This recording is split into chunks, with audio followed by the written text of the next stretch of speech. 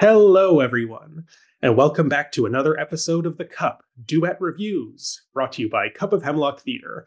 I will be your host for this episode, Ryan Borochovitz, co artistic producer here at Cup of Hemlock, and I'm joined today by someone who, longtime viewers of The Cup, needs no introduction. Andrew Pawarroo, you've been on so many episodes in the past. How are you doing today? I'm well, and I'm excited to be on this episode. I've never done a duet, so That's this true. gonna be a only- new fun experience. That's right. I forgot you've only been on larger panel episodes, so we're Yeah. so happy to have you on this one. It's a show that I know you have a lot to say about, so we're very excited to have you talk about the show we're reviewing today, which is Neptune Theater and Mirvish's co-production of Rosencrantz and Guildenstern Are Dead by Tom Stoppard. It is directed by the artistic director of Neptune Theater, Jeremy Webb, and is starring Dominic Monaghan and Billy Boyd, best known as and Pippin from Lord of the Rings, as the eponymous Rosencrantz and Guildenstern. And it is currently running for a few more days uh, at the Toronto's CAA Theater, part of the Mirvish family of theaters, until April 6th, which is the result of an extension. We are, we're actually planning on getting this episode out after the end of the run, but now you have a few more days to see it, April 6th, 2024. So if you, think what we have to say sounds interesting, rush out and get your tickets while you still can. so we're going to dive into this production that you, I correct me if I'm wrong, you've seen this twice now. I have seen it production. twice. Yeah. Well, okay, so I'm sure your thoughts will be very robust. But before we get into hearing them, I have to ask our favorite icebreaker question What is in your cup today? I'm playing it very lame. In my Superman mug, all I have is water. Okay, there's nothing lame about Superman staying hydrated. Uh, as for me, I have in my The Cup Cup. Hey, that's the show Very watching right now. hey. I just have coffee because we're recording this in the morning. So get a nice cup of Joe, start of the day. good start. Good start. Okay, so because the run is still ongoing, we're going to do a bit of a non spoiler section at the beginning of this episode. So if you haven't seen it yet and are debating whether or not to see it, a lot of these first few things we say are going to try to avoid spoilers. This is an old play, so there's probably very little that can be spoiled, but we don't necessarily want to get too much into detail. So, yeah, before we put up the spoiler shield, Andrew, I'll toss this first question to you. It's an interesting, maybe a bit of a tough one for this show, but how would you describe this play to someone who's never heard of it before? Give the kind of non spoiler plot description, if you will. Yeah, it's certainly a little difficult to do a non spoiler version Mm-hmm. given how old the play is and how much older the play that it's based on is. Mhm. But it is essentially that it is Rosencrantz and Guildenstern's comedic, absurdist perspective of the events that uh, are taking place as they maneuver their way through the plot of Hamlet. That's kind of how I would describe it in a sentence. Yeah. that's very efficient. I think good job. Thank you. Another, yeah, another way that I often hear people describe the show, which I think is sort of apt, is it's waiting for Godot meets Hamlet, so to speak. Oh, that's that- really good. yeah, that it's uh, yeah. what if these two side characters from Hamlet that you know are very interchangeable with each other and don't have very defined personalities are living out a plot similar to Waiting for Godot, but that Yeah. plot is them waiting to make their entrances and exits in Hamlet and the kind of absurdity of life that fills the margins uh, amid all of that. That's so- a really good description. Yeah, Yes. so I think that we did a good job. If that sounds interesting to you, if you've never heard about this before, there is a pretty famous film version of this uh, from 1990. Tom Stoppard himself actually directed it with uh, Gary Oldman and Tim Roth as the the titular duo, which is maybe one day we will do an episode of our screenplay sub series here on the Cup. And Andrew, we'd love to have you back for that Would if love we do it. part of 'cause- that. I, I really enjoy Yeah. the film. yeah, I, I enjoy the film a lot too. Part of I think my thoughts about this production are maybe colored by my love of the film and love for this play. fair. Had you encountered this play? Uh, so you said you've seen the film, but have you read the play before? What's your experience or background with this play before this production? Uh, I read the play. I think uh, we read it in university, if I'm not Mhm. mistaken. Um, but I'd forgotten basic, like I'd forgotten it, uh, or the details of it rather. And I made a point to myself, considering uh, that I had planned to see it twice, uh, to not watch the film because, Mhm. uh, and especially since I uh, was invited to do this uh, duet Mm-hmm. recording, I was like, okay, I just want to go in, watch the production, get my thoughts on that, and then after that, I'll watch the film Okay, and see how how how the how the two compare. So, but I really enjoy both. So, yes, it'll be interesting. It's Yes, it's an very interesting comparison. Yes. Yes. Okay. Well, before, yeah, we don't even need to frame this as a comparison, but let's get into this production. So, what were Yeah. your general or overall appraisals and thoughts about this production? Would you recommend it to others? I absolutely would. I mean, I've seen it twice, so Mhm. I mean, it'd be really strange if if I went, yeah, you know what? I don't want to see it again, and then went. I thought it was very funny. I thought it was a interesting take on an old play. Mhm. I thought it was very pretty. Mhm. Without going into spoilers, it was Sure. very pretty. And I- had a genuinely good time. I was kind of worried going in the first time I had seen it because I knew how old the play was. And I'm not the biggest fan of absurdist theater, Mhm. but I thought that the production managed to make it very fresh and bring a new energy into into the play. So yeah, I would definitely recommend it to Okay. anyone who's at least curious about Mhm. the play and who definitely wants to see Merry and Pippin from The Hobbit. Yes. yes. Or rather, Lord of the Rings. Yes, but yes, no, I, I think yeah, it's definitely those two big stars are a big part of the sell here. We'll get more into their performances in a moment, probably after the spoiler.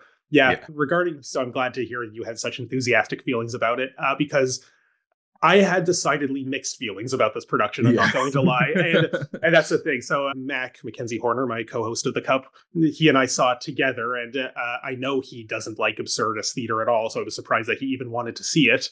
But he's like, well, of course I want to see Merry and Pippin. So that again, the big celebrity draw there. And I love the play, so I was excited to see it. But then I kind of I had very mixed feelings about this production. I, we can get into it more on the technical side as we go on, but I felt like to me, most of my issues about it came down to the pace. I really think that this is a show that needs to go at a very fast Right. clip. And a lot of the times I did feel like it was a bit of a slog. I'm not going to lie. I know a lot of, you know, various people in the theater industry, colleagues, uh, sometimes have their guns out for very long shows. And this is a very long show. It runs almost three hours with two intermissions. Mhm. And I, I personally, I don't feel that way. That I'm always of the mind that if a show can very easily earn its length if it's good enough, I'm not going to, on principle, dislike something because it's long. But I really don't feel like this production earned its length. I think, yeah, to use the film as an example again, because that's sort of the most immediate one that someone else could have at their fingertips. The film just goes through so much quicker, so much more economically, and makes good cuts from the original. And I don't know how copyright wise that is easy to do with Stoppard's permission to give those uh, permissions to make cuts but it Mhm. just like moves at such a quick pace and because so much of this is like bouncy back and forth duo comedy very vaudevillian style. I did think as much as i did love our leads they didn't always like jump on each other's heels of our sentences very much and things did feel like a lot more drawn out than they had to be. Part of me thinks that maybe that's on purpose because so much of absurdist theater is about feeling the cumbersome weight of time and really just having that yeah, we are waiting for something we don't know what and you need to Mhm. feel that and i get it but even like i use waiting for godot as an example that i do find that those plays work really well because you know it's all in the pace and the timing and yes you're waiting but it's the original french title of waiting for godot would be more is on attendant godot. It more accurately translates to while waiting for godot. So it's less about the waiting itself and more the things you do while you wait. Mhm. and and this show i think is no exception to that that i i feel like it you know it's more concerned with making you feel how long it is to wait between the scenes of hamlet than it is about keeping you entertained keeping themselves entertained while they are doing that act of waiting. And yeah so a, a lot of this to me i think i feel like this is maybe like a slightly mean the way of putting it and apologies but and again i always like being positivity guy on these reviews so i always feel bad when there's something that i don't love as much as I really wanted to. And this, I think it's the expectation to disappointment ratio is a little kind of coloring a lot of what I'm saying here. But yeah, the slightly mean one sentence review I would say of this is that if this wasn't a live theater experience, but it was a pro shot of this production, I would tell people watch it on 1.5 speed. And I think that would be a much more enjoyable experience. It would go quicker and the jokes would kind of come at a much clippier, fast pace.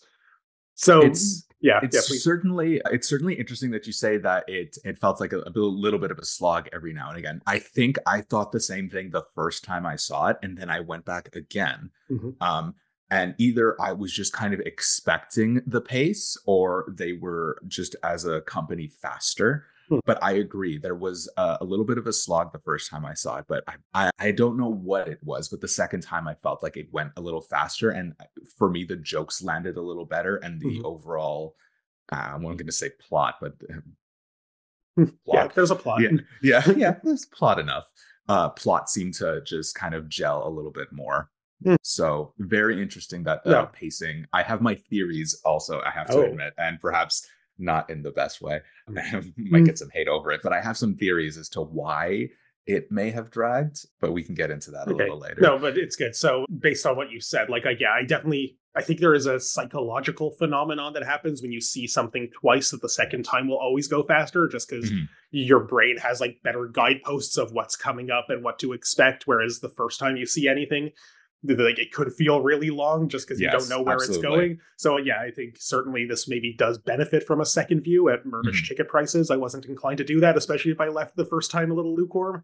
But that's uh, neither here nor there and yeah, but I am glad you are generally positive on it because as much as there were certainly things I liked about, it, and we'll get into those soon, I did think overall I had a bit of a sadly lukewarm impression of it. So it's good. I when I heard you saw it twice, I'm like, great, you'll balance out my opinions and we'll have a, a, a more nuanced two sided uh, perspective on this. Not a debate, just different perspectives. Absolutely. Because I, I have no interest in convincing you that you're wrong for enjoying it. And I, as I don't imagine, I would love if you convinced me, said, brought things to my attention that made me like it more than I did. That's why I seek out criticism of theater more often than not. Mm, like, For oh, I don't know how I felt about that. And then someone in a review brings up a good point. I'm like, oh, okay, I didn't think about that, but that makes sense. So Absolutely. hopefully you will maybe pull me to the light side a little more because I don't No love pressure, no dwelling in the darkness.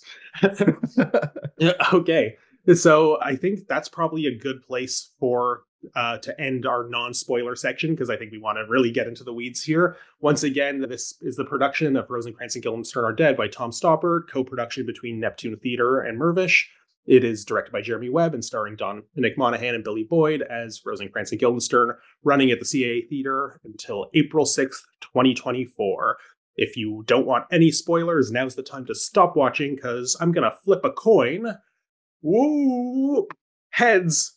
This, there's now a coin on the Wow. screen, and that is our spoiler coin for this episode because everything we say from here on out is spoilers. If you're listening to this as a podcast, you have no idea what I'm talking about. On YouTube, there's a coin on the screen right now that says spoilers. so so, Max gonna do you dirty and just not do that animation. oh no. Yes. so, Andrew, we are in spoiler zone now. I guess the best place to start here is with our hobbits themselves, Rosencrantz and Guildenstern. What did you think of Dominic Monaghan and Billy Boyd's performances as our titular duo? I should preface by saying I was going in looking to be dazzled by them, and uh, just with that expectation, I don't think I was disappointed. I found them both very charming, very, uh, very quick, which is interesting. Uh, quick. Uh, I think their comedic timing was very good, and I did feel for them uh, at moments where Rosencrantz and or Guildenstern and Guildenstern and or Rosencrantz Mhm. were kind of having that existential crisis that I think Stoppard's play is probably best known for. So I definitely went in looking to be charmed, and they were indeed charming. I think the best thing about watching Billy Boyd and Dominic Monaghan on stage is it's very clear that they're friends, which I think adds to their performance in general, but also to the relationship that Guildenstern and Rosencrantz have, because I think those two are feeling very much alone in the world except for each other which I, and that relationship that Dominic Monaghan and Billy Boyd have really add to that and I you know just watching them kind of go through the nonsense hmm. that is the behind the scenes of Hamlet's plays even within Hamlet's play it's made all the more funnier or all the more funny and you feel for them even more I find but yeah, so so in, in summary, I was very pleased with their performance. Uh, I watched it twice for a reason. right. That's good. No, okay. I'm, I'm glad to hear you say that because I agree. Like, as down as I maybe seemed on this production a moment ago, it is really the two of them that I think is not only its saving grace, but is the reason to see this. That they are incredible. I love what you said about you can sense a genuine friendship between them, not just as characters, but as actors. And it makes sense. We've seen them be friends in the Hobbit hole in the Shire um, in, the, in the past. So it really, yeah, but yeah, it's you do feel that and the the history that these characters share, the dynamic. Even if I didn't necessarily think that the comic timing was always as stellar as I would have hoped, they they did still have a funny, awkward comic energy that really did suit the piece as well. Uh, I think they were very, even though these characters are famously interchangeable, I do think they were well cast in their respective roles. Mhm. That there was a, a, bit more Billy Boyd as the more sort of intellectual Guildenstern um, really did kind of bring that energy. Very good foil to Dominic Monaghan's more like silly, zanier, I guess, Estragon to a Vladimir type mm-hmm. dynamic, or which, and even like going back to Waiting for Godot, I feel like I'm bringing up Waiting for Godot a lot, but even that is go like, figure, yeah, go figure. But yeah, even like you know that classic dynamic is cribbed from so many different vaudeville acts. You know, Laurel and Hardy, Abbott and Costello. Like there mm. is uh, this kind of tradition of uh, you know comic duos that these types of absurdist figures are usually modeled after, and I think they did a good job of that. And that's a difficult needle to thread when the most famous thing about these characters prior to Stoppard is that they are interchangeable. That there's the funny line in Hamlet, which is replicated in this show as well, where Claudius is like gentle Rosencrantz and Guildenstern, and Gertrude says gentle Guildenstern and Rosencrantz. So in every production of Hamlet always does it that Claudius got it wrong, which one is which, and Gertrude has to correct it. So that's the thing about these characters. So the fact that they are imbued with individualism that you can really get a sense of which one's which and how they engage with the world differently. One is always heads, the other is always tails. They are two sides of the same coin, but nonetheless different sides of that coin. So, I, I, yeah, I thought they did an excellent job, and it is like I said, the reason to see this show more than mm-hmm. anything. Cool, but they aren't the only ones on stage. Remember, and there is a, still a whole ensemble cast so I guess the next question I'd like to ask is what did you think of the rest of the ensemble? And were there any actors or actors in particular who you'd like to give a special shout out to? For sure. I thought the ensemble was very, very good. I especially we're we're in spoiler mode, right? Yes, please. Especially the scene where they're essentially going through the plot of Hamlet in their show. I thought was brilliantly done. I think it's a testament to how tight of a how tight the direction was, but also just like how committed that the rest of the ensemble was, and they all played multiple roles, which I think is like a, like just very cool. Because the first time I see it, I'm like, these are different. No, no, no, no. no these guys are in the players. They're part of the. Mm-hmm. They're part of the players. The, the tra- tra- I'm gonna get this word right. Tra- tragedians. tragedians, yes. Tragedians, yes. Because I was like, I yeah, even coming out of that, I'm like, I gotta get that word right in a couple of weeks. Uh, uh, but yeah, I the first time I was just kind of like, holy cow! I didn't really click into the fact that they were playing two characters, and it's just so seamless how they differentiate between them. So I thought they were very, very well uh, performed and just added a very nice layer to bolster the show who do I want to give a, a shout out to? Mm-hmm. I mean, obvious. This is probably obvious in a uh, a bit of a cop out, but Michael Blake, who is a nine season veteran of the Stratford Festival, playing the player, mm-hmm. is always very fun to watch. I've enjoyed his work from Othello to mm-hmm. when he was Caliban in The Tempest. So I've watched a couple of his performances. I've enjoyed all of them, and this is no exception. So he definitely brings a shake more Shakespearean, or at least what probably Ontarians know as like Stratford Shakespearean kind of energy to the play. So it was really cool to see a familiar face in what I expected to be a crowd of actors that I wasn't familiar with. That also being said, who was it? It was I had my program in front of me. Mm-hmm. Oh, sick. Walter Borden. Yes, Walter as Borden. Polonius. Mm-hmm. Whoa. yeah. I made a comment that I wanted to like Ursula, that guy's voice. So cool. he kind of has this, the voice of this actor uh, that I saw a recording of, uh, an old recording, 1967 or something like that, of mm-hmm. Taming of the Shrew. Mm-hmm. Um, and he has like, and like his facial expressions were almost that of like Vincent Price. So every time he walked on stage, I was like, yeah, that guy that guy. Just let that guy talk more.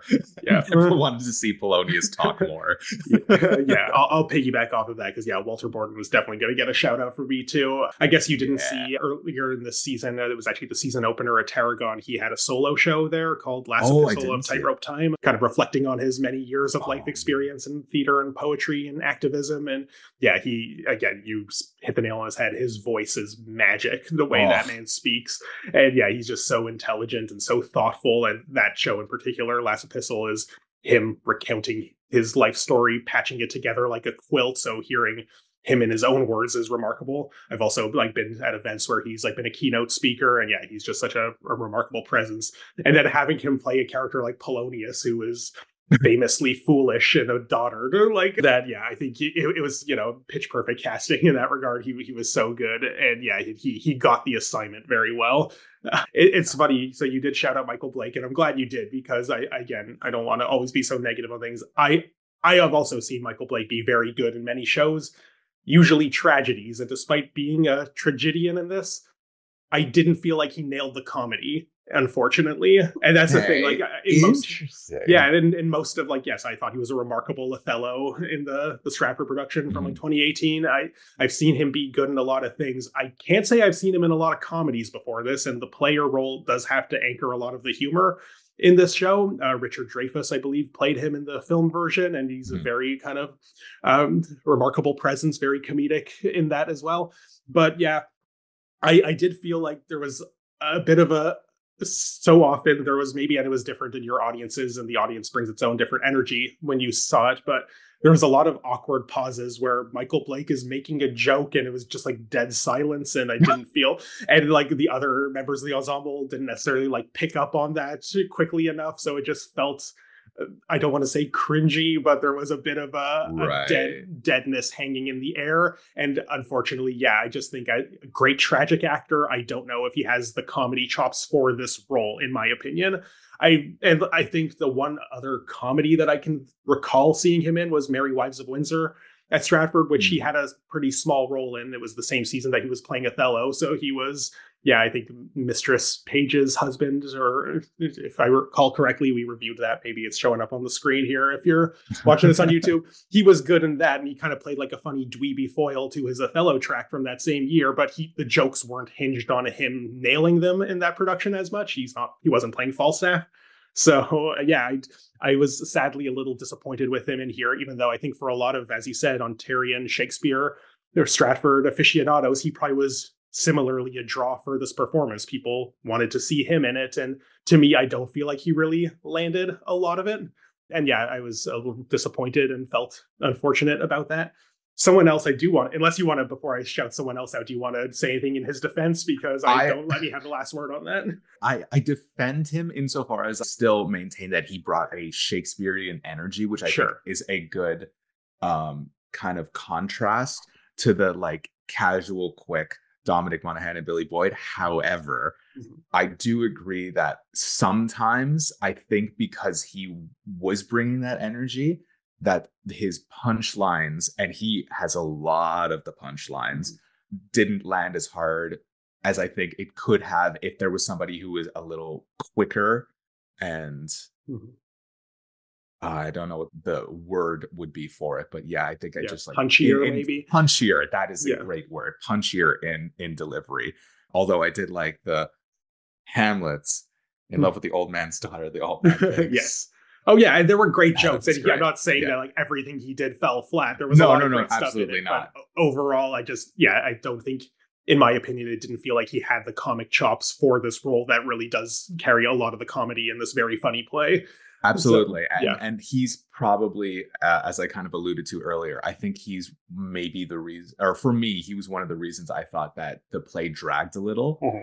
because they're Dominic Monaghan and Billy Boyd are very, very quick in their deliveries. They talk really, yeah. really fast. Michael Blake, again, Stratford energy, which yeah. is great, but also the pacing drops a little bit. And I think it um, also comes down to what you alluded to earlier about how uh, Dominic and Billy have this long time friendship energy. Mm-hmm. He's the newcomer to this trio, and so much of the play is them as a trio. Even when the rest of the ensemble and the players are present, it's really the three of them talking to each other. Mm-hmm. And yeah, so it makes sense that he doesn't necessarily have that same quickness and you know history and rapport with them that they have when it's just the two of them together and I, I, won't fault him for that. It's oh, he should have also not. been in Lord yeah. of the Rings, and then he would yeah. have had that long-standing friendship. But I'm sure he would have loved that. But uh, yeah, just sadly isn't the case here. One la- another shout out I do want to give. I won't say one last because I might have one more. But the actor who played Hamlet in this, I have his name here, Pasha er- Erbahimi. Apologies if I'm mispronouncing anybody's name, but I thought he was really remarkable and he was a very interesting interpretation of Hamlet because he was so gruff and growly and intimidating most of the time. And it's the kind of thing I realized what I thought was so magnetic about it is that you couldn't get away with a performance like that in an actual production of Hamlet. Absolutely. Because yeah. you have to like Hamlet or else it doesn't work. And he was like a tornado, like every time he was on stage. And like you couldn't empathize or sympathize with him if if he was the lead in a production of Hamlet, but it was so perfect for this show where our lead isn't Hamlet, but Rosencrantz and Guildenstern. And to them, Hamlet would be this force of nature that just like sweeps them up, literally causes their death. Spoilers in the title, but we're yeah. past spoilers here.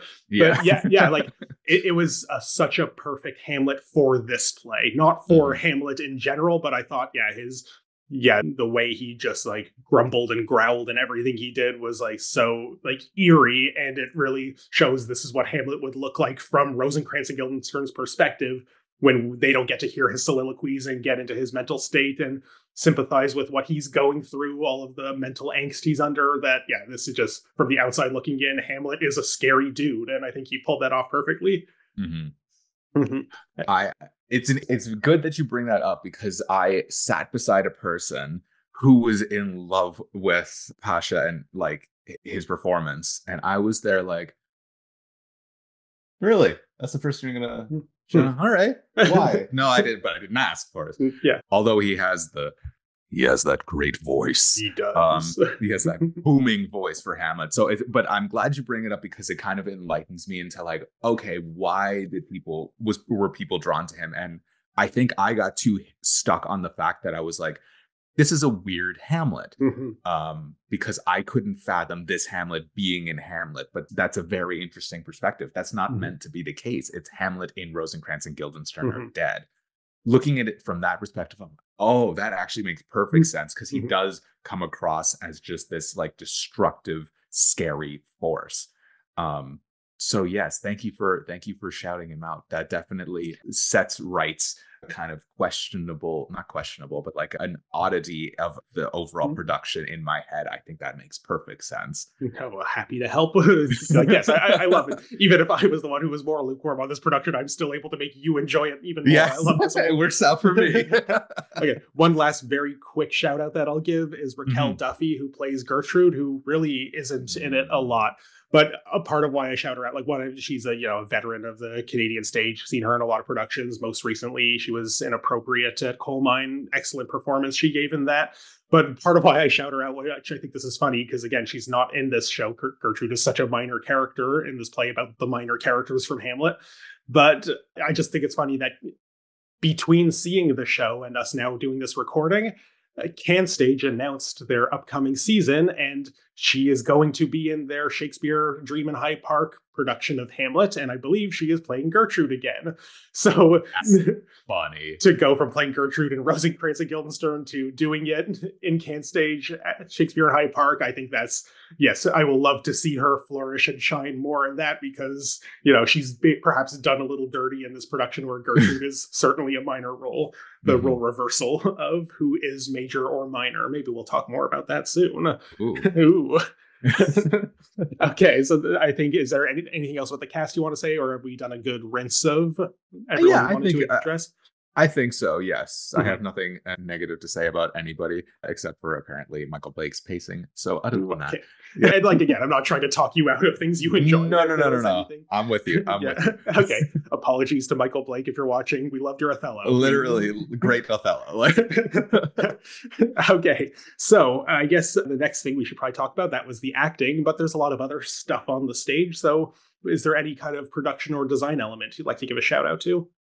The toss up for me with this was it either the costumes or the set. Mm-hmm. I'm going to talk about the set. So you saw before I even saw like the first before I saw this production for the first time, I think the thing that like drew me and excited me the most was uh, seeing Neptune Theater's like Instagram of the production and just looking at how stunning the costume was, especially I have to admit, especially Michael Blake's costume. Mm-hmm. That like that feathered coat robe i don't know what necessarily mm-hmm. to call it but like was like stunning every time michael blake came on stage. He has a presence in and of itself but coming with that coat i was just like oh that's a mood. That's an energy.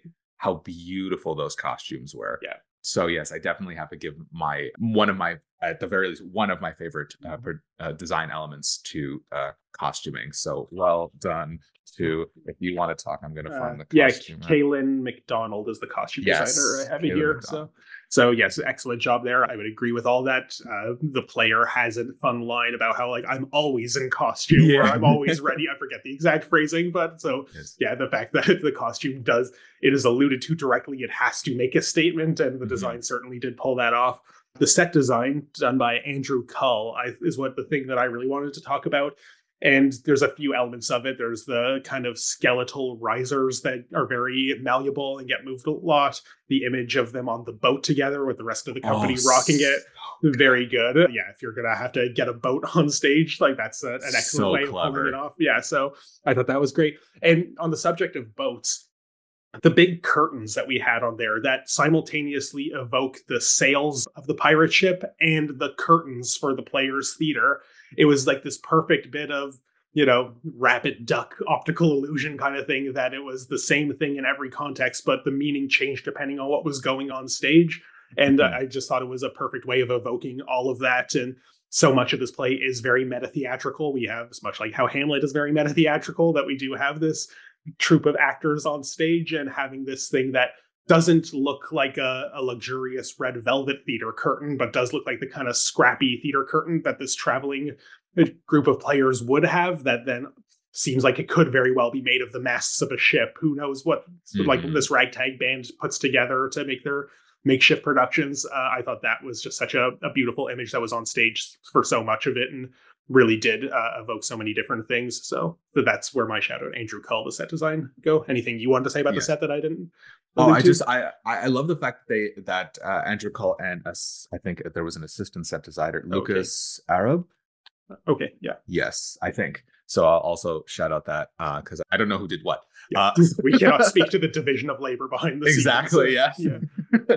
but one of one of my favorite things was the fact that it looked like the backstage of a theater. Mm-hmm. There were there was a fly system in the back. There were sand weighted sandbags above mm-hmm. the stage, which was at one point manipulated and raised a curtain, which I thought was brilliant. And I think it just adds to this meta theatricality of Rosencrantz and Guildenstern are dead because we essentially get a look behind the curtain mm-hmm. at what Rosencrantz and Guildenstern are doing when everyone else is on stage doing something else when Hamlet is happening. I thought that was just a very clever nod to the plot and the play. Um, and it just made it everything so just as a whole the set was just very adaptable it's simple but not without the ability to change from one thing to the other as you had said mm-hmm. so yes i will i think you hmm. summarized it very very well well yeah and i love that you use the word backstage because i think yeah, i neglected to put it in those terms but that is such an apt way of putting it and it is yeah this play has big backstage energy it yes. is really about what do these characters do when they're not on stage and mm-hmm. yeah i think it, that the set definitely did evoke a lot of that feeling and the the fact that we are literally peeking behind the curtain in that way does uh, yeah chef's kiss wow, it's so yeah, perfect yeah. okay i feel like i've already answered this next question and if you don't feel like you have anything to add we can skip it but do you, would you say that you had a weakest element of this production anything that you feel like didn't quite hit the mark for you I know that we kind of alluded to pacing. However, mm-hmm. I do have to, and I'm going to apologize in advance to Lighting Desire, Leanne yeah. Vardy. Mm-hmm. I think that was the thing that I was always struggling to overcome. Even though it was beautiful, I found a lot of the play to be very dark, mm-hmm. especially in the beginning. I was kind of questioning. I'm like, do I need to go to the optometrist? Like, why can't I see anything? Which I think was a great design in theory, in the sense of giving like that shadowy, we're behind the curtain, we're only getting aspects of light. But for me, practically speaking, I found it like I was really having a hard time actually seeing what was on stage every now and again. I was like, mm-hmm. can we just get, can we get, can we just turn it up a little bit? Maybe I'm getting old. So mm, I'm going to put that out there. It's but, just that's possibility for me. But mm-hmm, also, yeah. I was just like, I wanted, it's not that the design was weak. It's just that like I wanted more lights. yeah. No, I, I think I feel you on that. That actually didn't really register to me as an issue, but now that you're bringing it up, I'm like, yeah, I kind of, without realizing it, sort of did feel the same way. Again, not against the designer, just that it is sort of a darkness. And also, once again, comparing it to the film version, there's the film is very bright. It is Yes. like quite shiny, and uh, uh, yeah, not shiny in like a, an opulent or luxurious way, but it's just set in daylight most of the time. And it's kind of interesting that this is the the comedic foil to the tragedy of Hamlet, so much of which is set at nighttime. And there's a lot of things of like, oh, the ghost appears at night and et cetera, et cetera. That it is kind of nice that this is basically a satyr play variation on Hamlet. That the that there it would make sense that there should be light, that they aren't living out a tragedy, even though it literally ends with their death. That this is Right. a the comedy should exist in broad daylight, and you get to see the the warts and all, so to speak. Mhm. So yeah, I do think that there's maybe a little too much cloaked in tragic shadows and mystery that maybe doesn't really suit what this play is doing as well, and that's unfortunate. Like on one sense, I will maybe defend the lighting in that it had perhaps evoked like a dreamlike sort of Yes, uh, nocturnal energy, but I don't know if that necessarily is the best choice or suited exactly what this show does so well or what the vibes that it wants to evoke because it does make it feel maybe a bit more grim and somber than it deserves to be. Mhm. Yeah. Yeah, that's a, that's a that's a very good point. It did it did definitely evoke this kind of a, ethereal like kind of energy hmm. to it. I will definitely give it that. But uh yes, I did. I, st- I hmm. still maintain that I wanted more light. So this Yeah. is not hmm. like the thing that I didn't like. It was just the thing that I liked least. I Okay. that. That's fair. totally valid. okay, so yeah, we kind of we've done a good sweep of the technical elements of this production. Let's just talk a little more dramaturgically about some interesting things, and I guess just from a historical bent, we could address the fact that Stoppard first wrote this play in 1966, which is a long time ago. Yeah. Do you feel that this play is still relevant or resonant today as it maybe was back then, when we were both alive and clearly saw the original production? Yes, but- of course. nonetheless, how do you feel like it speaks to the present moment, perhaps, or does it still speak in the same way you imagine it might have then? I don't I I don't feel confident in saying that it speaks the same way as it did back then, but I would hazard a guess to say that it kind of does because I think the themes that kind of address that it addresses this longing for purpose and not really knowing where life's going and being or at least feeling that you're kind of swept up in the action as Rosencrantz and Guildenstern are really I think it is kind of universal in the the kind of human experience. We're all kind of put on this big blue marble with barely any beginning and no clear end in sight. Well, there is an end; it's just not clear. It's, it's in the title. It's in the title, yes. so you know, especially having seen it for the first time and feeling like that resonated with me. I can definitely say that it still has at least some effects. Whether that effect is the same, I'm not too sure. We're, you know, there could be like thoughts on like how religious you can get with that and the idea of as the player said we're kind of going with the idea that we're being watched which makes uh, which gives purpose to that whereas i think you know 2024 compared to 1966 maybe that's something that bothers people less We're all being watched all the time by our Yes, devices in our pockets. yeah. exactly that too yes absolutely so you know there's certain things i can say to that however uh, i still think as a whole it it definitely i think registers with a lot of people that like life's very strange and sometimes things around us are more in control than we are and it begins to feel a little silly. We kind of got to make sense of it and go with it and sometimes it doesn't go the way we want it to go. But yes so I, in that regard i think that it does still have some very significant meaning in today's to today's theater scene Yeah. Yeah. No, I think that's pretty fair. And yeah, I would agree for the most part, there is like a lot of just, you know, universal is not a word I like using very often, but timeless maybe is a good way Yes, of that's a putting a, lot of this. Yeah, because, you know, even just like the little funny things that they converse about over the course of it. You know, what's the the longest ago thing you remember? I don't remember. No, not Yeah. the earliest memory you've ever had. What's the if you go back to your memories, what's the first thing you remember? and like or the you know i always trim my fingernails but never trim my toenails, Never toenails, which like you must have to trim them sometime. Yes i get that it's less frequent than the fingernails. But yeah just like little things like that like i don't think these things will ever get old or unless we invent some technology to not have to trim our fingernails anymore that these things Yeah. will be, continue to be resonant in a lot of way. And yeah just spending time with them as they have these funny conversations like you can get a kick out of this at any point whether it's 1960 when the play was new 1990 when the film came out or 2024 now they still hit in a lot of the same ways I, am going to have a nerdier answer, I guess, to this about just situating the theater of the absurd uh, in moment in, I guess, that theater history trajectory because Waiting for Godot is from like the, the mid 50s. I, I want to say 50, 56 or but so about a decade before this. And those, I guess, who are maybe less familiar with this didn't go to theater school or didn't have good theater history education listening. Theater of the absurd isn't a movement the way that surrealism was a movement or futurism or the kind of avant garde isms where a bunch of artists who were disenchanted with the aesthetic status quo got together, wrote a manifesto, and said, This is what we do that's differently. Theater of the absurd was something that various post World War II playwrights were writing plays that were very different from the status quo, but they weren't necessarily even friends with each other. They didn't get together and create an aesthetic agenda. They were just writing these very strange plays. And that was starting to become a more common appearance that in 1961, a theater scholar named Martin Esslin wrote a book called Theater of the Absurd, where he took these new developments by playwrights like Samuel Beckett and Eugene Ionesco and Jean Genet, et cetera, et cetera. There's a whole list of them. And said that I think I figured out what all of these playwrights have in common and why they're so different from previous models of theater. And the term he used to describe that was theater of the absurd, which he took from Albert Camus and the absurdist philosophy, which was Camus' own derivative of the existentialist philosophy that Jean Paul Sartre was putting up.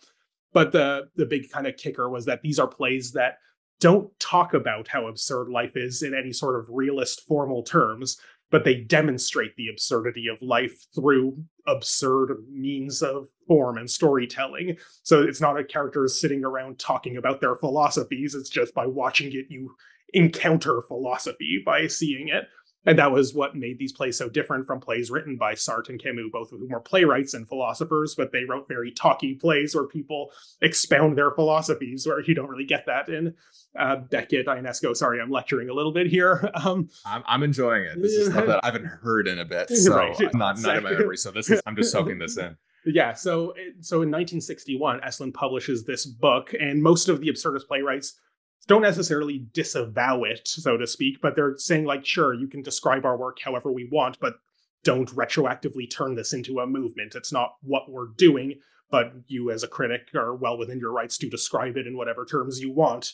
But it, often gets uh, thought of as this prescriptive movement when it was more just a descriptive label that was put on to make sense of what these plays were doing.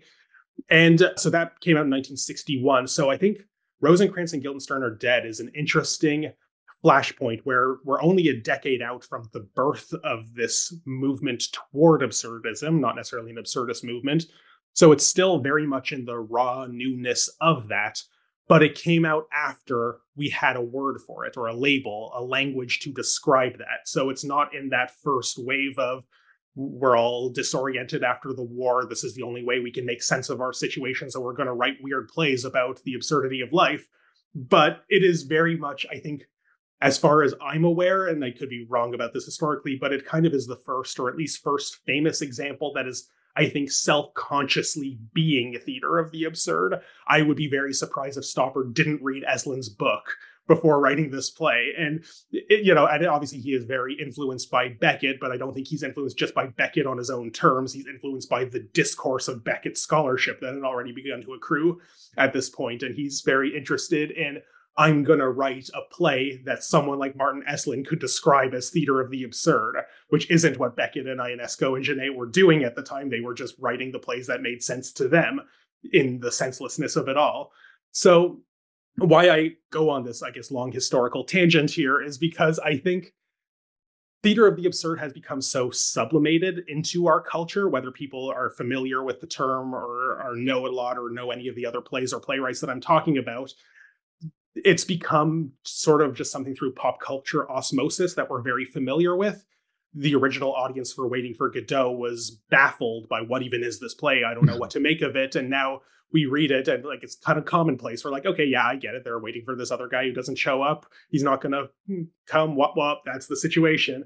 And you know, there's all kinds of pop culture things. Uh, one of my favorite examples is like the Chinese restaurant episode from Seinfeld is basically a, a parody of Waiting for Godot, where they're just waiting for a table for the whole 30 minute episode. But you know, there's a line from Buffy the Vampire Slayer in one episode of man, that girl makes Godot seem punctual. So th- there's enough sense that people are aware of these things that it's not going to shock us the same way that it shocked its original audience.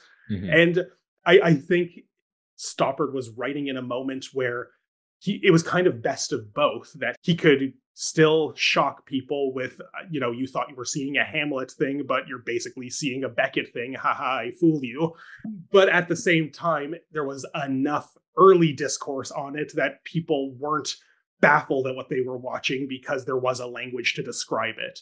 And mm-hmm. now we still have that language to describe it but so many other things have happened so many different parodies and reimaginings and post post post modern interpretations of various things like the absurdist theater that I don't know if it hits the same way. It's still entertaining and funny and has those timeless elements, but yeah, I think it it's very much a product of its time that as certain parts of it still feel very resonant. I don't know if the whole necessarily does. And I say that as someone who loves it to death and and maybe this production also is making me a little disenchanted by things that I love about it on the page or in the film. I've never this is the first time I'm actually seeing a non-film production of the play, so but I was hoping to be like, yes, this is everything I've ever wanted. Merry and Pippin are in this play that I love, and uh, the fact that I left it with like a meh feeling makes me think that maybe this product of its times time is passing a little bit, or it doesn't feel as prescient as it maybe did in its own day. Sorry, I've thrown a lot at you. Anything you want to comment on? No, that's that? fair. I like that idea, or I find the idea interesting of how there is a shock value and kind of maybe a novelty about when this play was released versus now. Hmm. That whereas like a 2024 audience just kind of ex- like at least maybe even passively knowing about Rosencrantz and Guildenstern are dead or about the movement towards absurdity, that there's this level of I guess eh, I think you would use the word shock that is lost. So that's very interesting. I find that something that I didn't realize that I went into this production kind of without of because I know about the play. I know about kind of what the idea be- behind uh, what was called the absurdist movement is and kind of what I should expect about uh, what this play is going to kind of address. And it's interesting that it came out after there was a word for de- describing it, and Stoppard probably went, I can probably neaten mm-hmm. Beckett's uh, I, I original kind of idea a little bit and put it into this play. So there's something about that expectation that I think I didn't realize that I went in with. Mm-hmm. So uh, yes, I think somebody it, it, would be very interesting of somebody who's never heard to talk to someone who's never heard, never seen, has no kind of comprehension of what theater of the absurd is, what they would say about mm-hmm. this play because yes that's very a very good point that i that yeah, I, I, I just know about this stuff and therefore it kind of colors my interpretation yeah. of what's coming at me and perhaps then you and I are the wrong people to be approaching it in this Maybe. way. And, and like I, I used Mac uh, as an example earlier because he knows that he doesn't like theater of the absurd. So mm-hmm. I was surprised that he wanted to see this show and he left it similarly lukewarm to I, but he had, I guess, a photo negative. I don't want to speak for him. And Mac, when you're editing this, feel free to put an editor's note on the screen if you want to. um, but uh, yeah, but he had like a photo negative of my opinion. He's like, I love the production. I don't like the play. I'm like, I love the play. I don't know if I love this production. Right. And so, yeah, I think, yeah, it's having a lot of this baggage and knowledge does certainly inform the way we think about it, the way we receive it you you who did you go with when you saw it both times? And were they people who have this sort of theater history or stylistic knowledge that maybe would have informed their view? Yes they were. I think one el nino who mm-hmm. i met them through the show must go online. I'm just going to send some plugs nice yes. plugs their we way. can, we can uh, put that on the screen as well. Show must go online great great yes, series. great fantastic. Check out el they're very lovely. Very very well informed and versed in theater and stoppard and theater of the absurd Alex Verge, who I met in Toronto Fringe. I'm sure they also have an Instagram or something that I can plug, but I don't know it off the top of my head.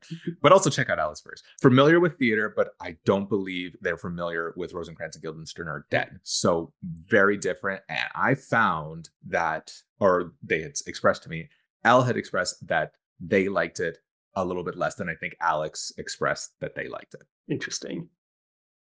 So to your point, I think having that lack of knowledge hell because right. the like I would assume L kind of going, I expected one thing given this knowledge and I didn't get it. Hmm. Okay, so mm. take of that what you will. Yeah. Person watching this post spoiler who maybe is also not necessarily still at this point deciding whether or not to see it, but maybe also left it not sure what they thought and wants a panoply of different opinions. And yeah, uh, yeah, yeah. It's like you get them all. You get them all, folks. well, speaking of other people's opinions on this, so I typically as a rule when we're reviewing something on the cup i don't read any reviews or other people's reviews until after we've recorded our episode because i don't want to you know crib other people's ideas or take anything from theirs. Uh, but because this one originally it was planned that this wasn't going to come out until after the run was over I, I, cheated and i did do something that i usually do. I'm also the kind of person i feel like i've maybe said this in episodes before where i very rarely read reviews to decide what to see Mm-hmm. I read mm-hmm. reviews after I've seen it to just yeah continue the discussion in my head basically and have these types of cup discussions and get other people's stances on things and see if maybe something I didn't like clicks better with and someone else puts it in better language. So Liam Donovan, who often writes for Next Magazine and Intermission Magazine, you know, a friend of the show, he's he wrote a review for Next Magazine that was one of the more, you know, negative reviews that I've encountered. And it was happy for me to see that because most of the reviews were overwhelmingly positive, and I'm like, I think I'm missing something here. and then I read Liam's, and Liam is a, a very talented critic and somebody who I, I, highly respect and I value his opinions. Don't always agree with them, but uh, when I read his review in Next Magazine, which we'll maybe link at the bottom of this episode for people to check out, I was like, okay, yes, someone's putting into words a lot of the things that I'm less negative on or that I'm more negative on in this production. And he had a you know funny headline for his review that the production hobbles with hobbits to the finish line. And what we, but uh, yeah, I, I, don't know. I, I sent you the link. I don't know if you had a chance to read it before. I, I, I did, and I saw that. I'm like, Oof. yeah, but it, it, was cathartic for me to read his review because it, it, you know he was saying a lot of the things I was thinking. So uh, you know if there's any comparison between his stance and mine in here, that's not me subconsciously stealing from him. Apologies, Liam, if you're watching, but that is just that. Yeah, we kind of had similar views in this regard. And he had an interesting sort of stinger at the end of his review that got me thinking. It wasn't something that had occurred to me, and I, I put it in this terms to give him credit for thinking of this. I don't want it to seem like this was my brilliant idea. But he kind of posed an interesting question in his review that I'll quote it directly here. He says, quote, how can the show dramatize the plight of being a minor character when the casting itself frames them as major? End quote. In other words, that the celebrity casting of Dominic Monaghan and Billy Boyd might risk undercutting the themes of the play, presenting these minor characters of Rosencrantz and Guildenstern as being anything but marginal when they're the famous faces that get people into the theater to see this show. I, am very curious if you have thoughts, Andrew, on this or this observation. Do you agree with it? Disagree? Did it get your mind going in any particular way? It certainly got my mind going because I didn't really think of it as, you know, kind of spoiling that Rosencrantz and Guildenstern are the minor characters. Because for me, by definition, going to see a play called Rosencrantz and Guildenstern are dead with them being the leads, I think in of itself kind of sets them up as they are not the marginal character. The joke is that they are, mm-hmm. I think. And I have a hard time with this observation simply because so many inter- like productions of this play have been done with names that I think I might be just numb to that. And I go, well, that's just kind of like how people go to the theater sometimes is they see a name and they go, yeah, let's go see that one. Because yeah, there's a Daniel Radcliffe version. There's mm-hmm. the movie version with two big names, or mm-hmm. three big names rather, and yeah. Stoppard himself directing it. Um, so I'm kind of like, I don't necessarily think that it's so detrimental to mm-hmm. the play or what, how one would interpret the play that it's um something that like I, I'm I'm gonna you know lose sleep over. I think mm-hmm. it's a mm-hmm. very good point and something that I didn't think of, but having thought about it, I kind of just I, I shrug my shoulders and I go, they're actors. They just happen to be famous actors. Mhm. I think I, I personally rather a famous actor who does it well than a no no no name actor who does it okay. Mhm. Then again, there are no no name actors, quote unquote, who do it fantastically. Yes, However, and and then don't get the same crowds to see them doing it fantastically because of their lack of names. yes, exactly. Yes. So I'll give them that. But I don't know. I I enjoy Dominic uh, Monaghan and Billy Boyd being in it. I'm glad they were cast, and I think that it brings people in to see a show Mhm. that they may not have seen and may go see that person who they didn't who whose name they don't know but they know the play and they liked the play so they may see that. I think there's a lot of aspects to that.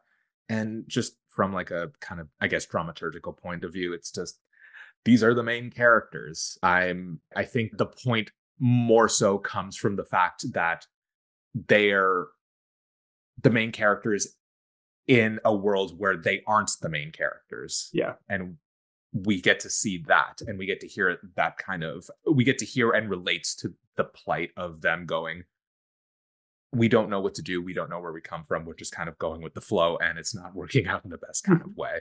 That's kind of where i stand on it. I don't necessarily i mean i guess i yes yes i think i'm disagreeing um, yes, that's fine. the more i'm talking the more i'm disagreeing Liam, if So- you're watching, get in the comment section and disagree with Andrew. just roast andrew no, no, I think you're making a lot of great points, and I definitely do think, yeah, there is an interesting, you know, why I was so compelled by this question that he raised in his review is because, yeah, it is, it, it does feel in a sense that it goes against the ethos of the play that these are nobodies. So if people are coming to the theater to see these somebodies, then is it not necessarily a problem, but maybe discordant with what the play is doing or trying to do. And yeah, like you said, there have been plenty of uh, big productions. I don't think you named the Benedict Cumberbatch one, also uh, the National Theater yes, did. yeah. So yeah, like there is a there's precedent for this play being used as a star vehicle, even if, as Liam's pointing out, maybe that's not the best use of this particular text, in at least his view.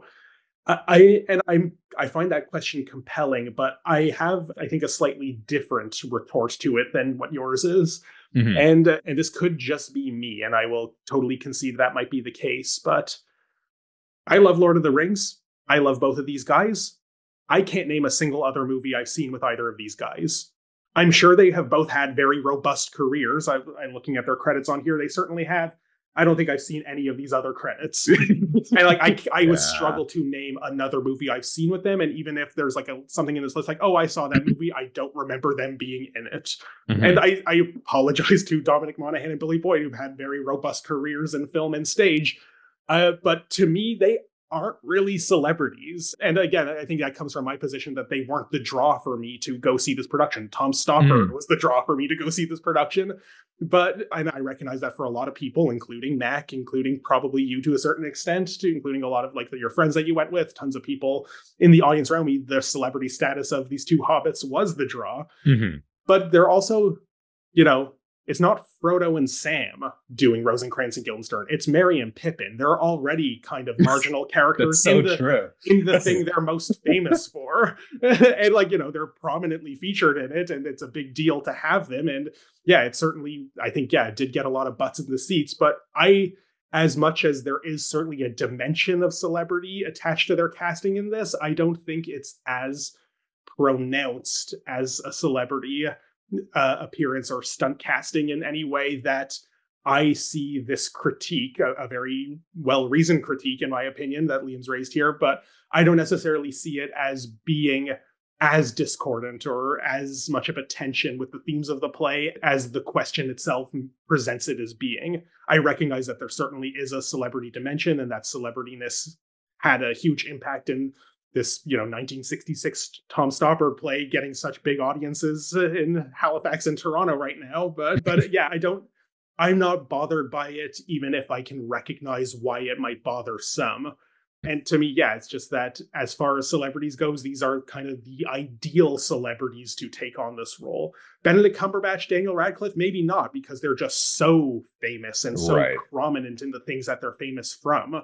But I, I think, yeah, Merry and Pippin is sort of the if you're gonna get a celebrity version of Rosencrantz Guildenstern, I think they're the perfect celebrities for it. And they did such a great job, even if there were things about the production that I didn't care for. I think, yeah, I- I'm very happy with them in it, and I don't think it undercuts the themes as much as others might say it might. That's my piece on that. I think that's a great point. Yeah, no, that makes absolute sense. I totally didn't. Again, I uh, as you're doing a lot for me today, I didn't think of that aspect of like it's Merry and Pippin. It's not Frodo and Sam. That's very. Yeah. It's very not McKellen and Stewart. Like they're, right. They're yeah. celebrity, and like the two of them did a Waiting for Godot production together, and that's fine. Vladimir and Estragon aren't Rosencrantz and Guildenstern. They're not already the side characters from another. Mm-hmm. And like keeping in mind that Tom Stoppard made Rosencrantz and Guildenstern famous. They were already characters in Hamlet, but prior to 1966, most right. productions of Hamlet would cut them out because Hamlet is a very long play. If you were to do the full Kenneth Branagh version of it, it's like four hours long. And most productions have to make cuts somewhere. And before mm-hmm. Tom Stoppard, it would just be a given that we don't need these guys. If we're going to economize this play, we can write a version without them.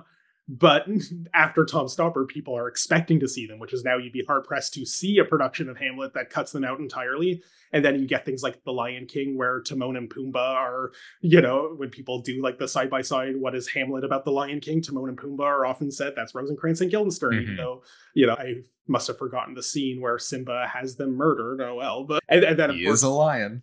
yeah, and then of course there's Lion King one and a half, which is the Rosencrantz and Guildenstern are dead mm-hmm. version of the Lion King mythos. But but yeah, like I don't as much as the joke of the original 1966 play is these are two people who you probably are aware of, but also maybe have forgotten about in Hamlet if you your encounters with it are on in from productions that cut them out entirely. then yeah, like they are more famous than they would have been in 1966 mm-hmm. now because Stoppard and this play in particular made them famous. And, you know, the joke is still thematically within the play that they are nobodies, but they're not anymore maybe right they don't they don't need to be like as a whole treated as the minor characters because yeah. this play just by existing doesn't treat them as the mm, minor characters exactly so yeah I, I am okay with casting celebrities and once again i think they're the ideal celebrities for it yes yeah it's so good Okay, I think we're coming up on the end here. I actually thought of something else that I was going to add to our sequence of questions, but then forgot yeah. to when I wrote them up. I, I, meant to double check this, and apologies if I'm incorrect about some of these things, but this production ends in a way that I don't believe the original textual version necessarily end. I could be wrong, and I regret that I didn't have a chance to check this. Right. But the yeah. fact that we return to the opening sequence of them flipping coins together, to my recollection, I don't think that was in the original, and somebody get in the comments and tell me if I'm wrong. Okay. So, so from what I can see, it does not end that they go back. Yes. So let's talk about that because that's possibly, even if it's not necessarily unique to this production, but that is a mm-hmm. choice to, you know, they are dead. Mm-hmm. Canonically, they are dead. It's in the title. We've been told from the beginning, and they get executed in England. And we we are this production ends with the the scene, the final scene of Hamlet with Fortinbras and the English ambassador coming in, and the English ambassador announces that Rosencrantz and Guildenstern are dead. And then we roll credits. But then we cut to it's in the theater, so there's no cutting. But then we go back to the same tableau from the beginning of the play of them flipping coins, sitting on a log together. So, what do you make of that? The this implication of circularity that this production, at least, is certainly giving to us as something to the final thought that send, they send us home with. Mm-hmm. Uh, I have to give credits for this to Alex Verge because they had pointed out that it kind of it, it's a nice way to end it because it kind of hammers home that like idea of this we're always reliving our struggle with mortality mm-hmm. which i did which i thought was a brilliant observation that they had made because throughout the play rosencrantz and guildenstern are kind of coming to terms with their situation and inevitably have to kind of come to terms with the fact that they're going to die um rosencrantz builds it's a, a billy boyd yeah, Guildenstern. yeah, Guildenstern. Okay, great. Guildenstern is forever going on about like death and what death looks like and what death is. Um, and at one point, uh, Rosencrantz is like, "You ever think about lying in a box?"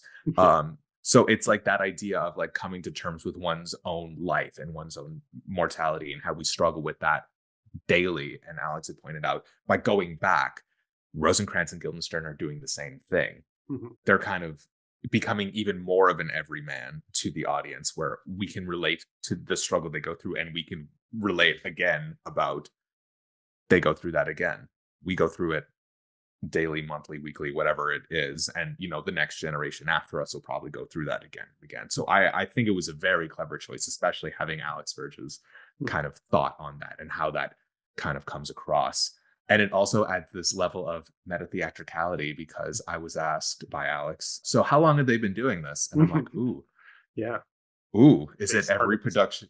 Yeah. How long do they restart the play? Is it every? Is this meant to be every production of Hamlet, or is it what I would what I kind of guessed is the first cycle they did it was the first performance of this production, mm-hmm. and then everyone since has been a new cycle. I don't know. Right? Yeah. No, and it is interesting because I think it definitely does heighten the meta theatricality of Rosencrantz and Guildenstern die night after night after yeah. night in every production of Hamlet. That includes them, and every production of Rosencrantz and Guildenstern. and as fictional characters, they are imbued with a sense of mortality that they will constantly be revived by.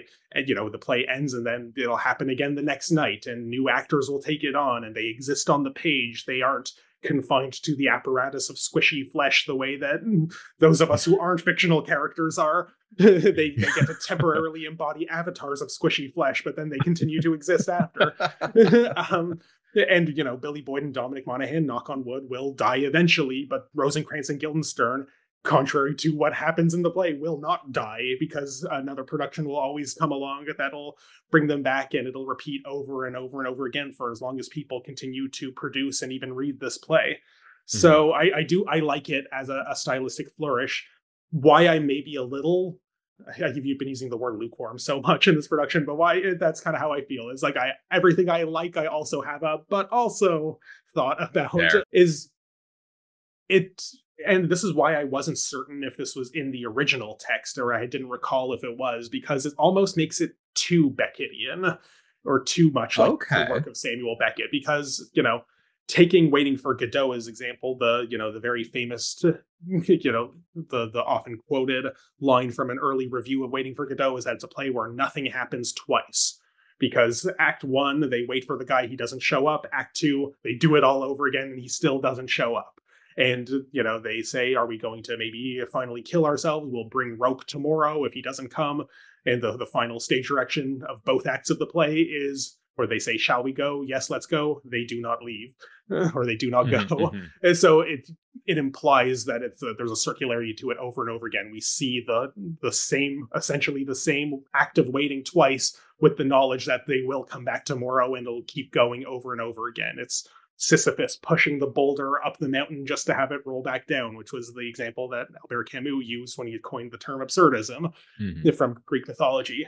So there is, and Esslin talks about this in his book at all uh, quite a bit. The this idea of circularity, repetition, things never will end, and that's what makes it absurd. That there is no movement towards closure or finality, even in this play where there it is literally beginning with the title these guys are going to die and ends with them dying it is creating the sense of cyclicalness and again another beckett example is beckett's play titled play mm. the, the, beckett oh. play play where it, it literally ends with the stage direction repeat play so you do the whole thing over and over again, not with slight variations like the two acts of Waiting for Godot, but just literally do the whole play again. The three actors in urns monologuing when the spotlight hits them. You have to do the exact same thing again.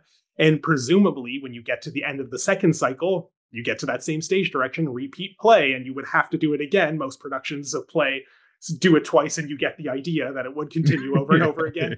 Um, so part of me, while I think, yeah, there's a lot of great thematic richness to this circular movement of it and implying circularity, and it really does fit the fictional status of characters like Rosencrantz and Guildenstern. It to me, it seems just a little too cloyingly. Look, we're doing Beckett. Do you get that we're doing Beckett? Beckett did this. This is an absurdist play, therefore this does thing Beckett does, and again, I like it, but part of me, and again, maybe it's just because I'm so familiar with a lot of these frames of references that they're clearly drawing from. People who don't bring those same familiarities might be like, this is the coolest thing I've ever seen. But to me, I just feel like, yeah, I get it. I get it. It's fine. I like it. Do I love it? Maybe. Maybe not. I don't Fair. Yeah, I don't know. Thoughts on any of that? I, I definitely see why you can kind of go like, oh yes, we're just making it look more like the the not movement, but like the plays before it have done by ending it that way. I certainly see that, but I think I almost eh, I I don't think I am bothered by it simply because I think if it was done to a different play, I'm and I knew that it famously is like no, it's supposed to end there. I would agree, even though I kind of mm, wasn't sure in Rosencrantz and Guildenstern are dead. However, I just think that it suits it so much because of the frame of the show that I think it just adds as opposed to it looks like copying mm-hmm. for me. Even though, yeah, I even though I do enjoy play, even though I don't like Beckett, I do enjoy play and that idea of like the repetition. Yeah. yeah, I just like the idea of like its characters forever stuck in the most famous play in the world having to die over and over and over and over and yeah. over over again. And I think that just kind of hammers it home in a way that I think without it or without that repetition or call or cut to the beginning, I think if it was omitted, it wouldn't have this like kind of jarring effect. Yeah. So I think I just I, I have to admit that I did really uh, enjoy that kind of inclusion, even though it does call on plays past. Yeah. It just wraps it up and kind of drives home the point a little bit mm. nicer. And I'm inclined to agree with you. And like that's why I don't think this is a major critique, but it's just something that I think of. There's also yeah. like a rich tradition in theater scholarship and specifically things with Hamlet in particular that really makes a lot of hay out of a one very minor line in Hamlet near the beginning when I, either Horatio or Marcellus or one of the guys who encounters the ghost at the beginning says, Has he come again tonight? referring to the ghost. Mm-hmm. I forget the exact line, paraphrasing here. But a lot of theater scholars like Herbert Blau and Marvin Carlson have, you know, read into that line a lot that this is a meta theatrical joke that the ghost has come again tonight just like he came last night when we did the show. A, yeah. and, and, it is sort of, uh, yeah, signaling this repetitious nature of theater within the play itself. And, you know, and Hamlet being such a meta theatrical play and Rosencrantz and Guildenstern are dead being an even more meta theatrical mm-hmm. take on that. Like, I, I think it suits it here. I just, yeah, I, I wish to me it didn't seem so obviously aping something else, I guess. Right. Yes. Yeah. Mm-hmm. I can totally see that your knowledge has done you dirty here. I can't enjoy things anymore because I know too much. Uh, no, I, I, enjoy most things, and this, I, for all of my you know little nitpicks and gripes with this production, that was a minor one. Mm-hmm. And, uh, and, and you said that you really, really enjoyed this play and Stoppard. So I guess, like you said, it's that that uh, idea of like you know I I expect so much that like yeah. when it doesn't meet that, it feels even more like a disappointment. So which yes, is why I'm a little that. embarrassed that I don't remember if that actually was inherent to the original and didn't have a chance to look it up.